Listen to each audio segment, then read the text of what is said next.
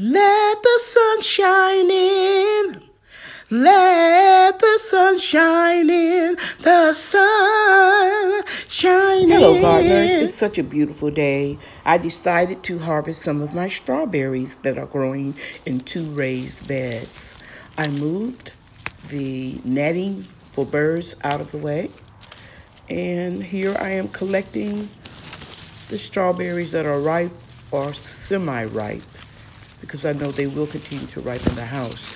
And the big juicy, real red ones, I will put those in the freezer to uh, save until I get enough to make some strawberry jam. I apologize for the video moving around so much.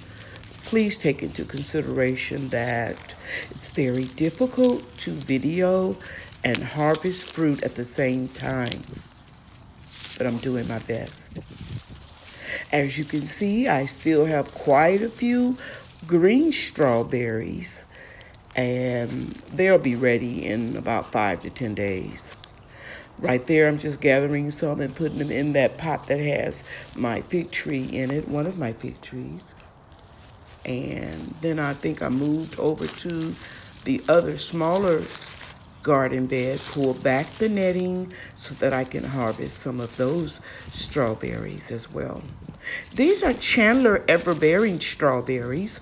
I grew most of them from seeds. I ordered some crowns, I think about 10 of them on from Amazon.com, and the rest it took me two to three years to grow from seeds to get them to produce.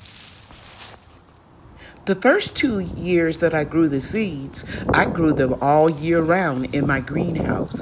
And I was able to harvest some very small, tiny berries that were super sweet. So for those of you that are growing strawberries, don't worry about it if they get real small because those will be sweet and you'll be getting some bigger ones as the years go by. I'm dropping strawberries everywhere.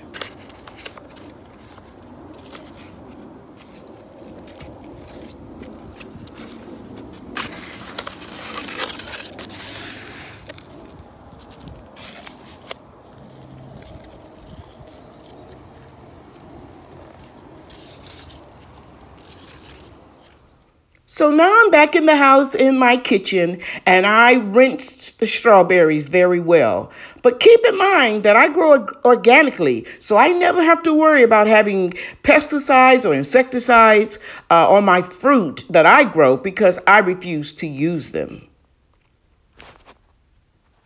These are the strawberries that were the biggest, juiciest, and the ripest, and I put them in the freezer, and we will make jam very soon.